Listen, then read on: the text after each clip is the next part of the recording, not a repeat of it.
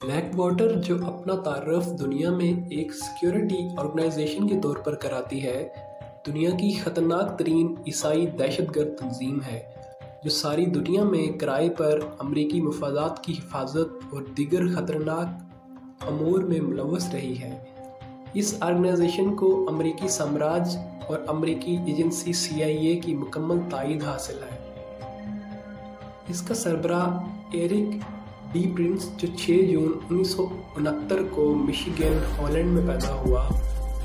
इब्तदाई उम्र से ही इस्लाम से नफरत करता है और सारी दुनिया में ईसाई इकतदार के ख्वाब देखता रहा है। और इसी वजह से पोप बेंडिकेट के साथ भी खासा करीब है और मुसलमानों की नस्ल कशी और ईसाई मज़हब का प्रचार इसका नसबुल है।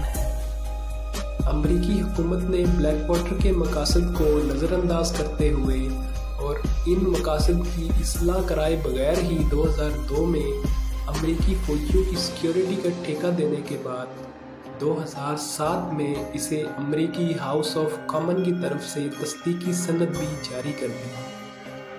13 फरवरी 2007 को एरिक ने ऐलान किया कि अब ब्लैक वाटर का नाम बदलकर जी कंपनी के नाम पे इसका नाम रख दिया जाए और अब इसका काम बिज़नेस और सिक्योरिटी के कामों से मुख्तलिफ़ होगा। नए नाम के साथ ही इसकी मरकजियत भी तब्दील कर दी गई। जिसके तहत सी आई ए की हदायत पर कोफर ब्लैक को इस अदारे का नया जी चेयरमैन बना दिया गया। जी सर्विसेज़ एलएलसी एक प्राइवेट मिलिट्री ऑर्गेनाइजेशन है, जो ब्लैक वाटर वर्ल्ड वाइड की बदनाम ज़माना नाम से अमेरिका के शहर कैरोलिना में कायम की गई। एरिक प्रिंस, जो अमरीकी बैरिया का तरबियत याफ्ता है, में भी इस फौज से फरागत हासिल करने के बाद 1990 में 6000 एकड़ ज़मीन रियासत वर्जीनिया की सरहद के साथ शुमाली कैरोलिना में ब्लैक वाटर के क्याम के मकसद के लिए खरीद कर अपनी एक प्राइवेट स्टेट ऑफ़ आर्ट कायम कर ली। यहाँ पर लोगों को प्राइवेट तौर पर फौजी तरबियत फ्राहम की जाती है। ब्लैक वाटर वर्ल्ड वाइड एक साल में चालीस हज़ार अफराद को फौजी तरबियत फ्राहम करती है, जो ज़्यादातर अमरीकी फौजी ही होते हैं। इराक में इस कंपनी के ज़िम्मे इराकी सिक्योरिटी गार्ड और फौज को तरबियत फ्राहम करने की ज़िम्मेदारी भी सौंपी गई थी। इसी दौरान जी कंपनी ने लातादाद इराकी शहरियों को हलाक और जख्मी करना शुरू कर दिया। बगदाद के मेसोर स्क्वायर में 16 सितंबर 2007 को एक साथ सिक्योरिटी के नाम पर बहुत से इराकी हलाक हुए। तो इराकी वज़ीर दाखिला ने इस कंपनी को इराक से निकल जाने का हुक्म दे दिया था। इसी तरह इसकी कार्रवाइयाँ अफ़गानिस्तान और पाकिस्तान में भी जारी हैं।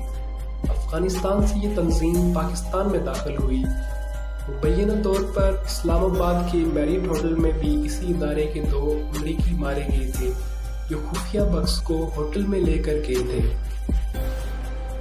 अमेरिका के अखबार न्यूयॉर्क टाइम्स ने इंकशाफ किया है कि अमेरिका के सबक फौजियों पर मुश्तमिल निजी कंपनी को, जिसका नाम पहले ब्लैक वाटर था और बाद में इसका नाम बदल के जी कंपनी रख दिया गया। सी आई ए दहशत गर्दी के खिलाफ मुहिम में अलकायदा के खिलाफ ड्रोन हमलों में इस्तेमाल करती रही है। न्यूयॉर्क टाइम्स ने सरकारी हकाम और सिक्योरिटी कंपनी के मौजूदा और सबक मुलाजमों के हवाले से ये इंकशाफ भी किया है कि इस कंपनी के अहलकार पाकिस्तान और अफ़गानिस्तान में मौजूद खुफिया अड्डों पर ड्रोन तैयारों पर हेल फायर मिसाइल और 500 पौंड वजनी यूएस गाइडेड मिसाइल लगाने का काम करते रहे हैं, जबकि कंपनी से तल्लक रखने वाले एहलकारों को इन खुफिया अड्डों की निगरानी के लिए भी इस्तेमाल किया जाता है।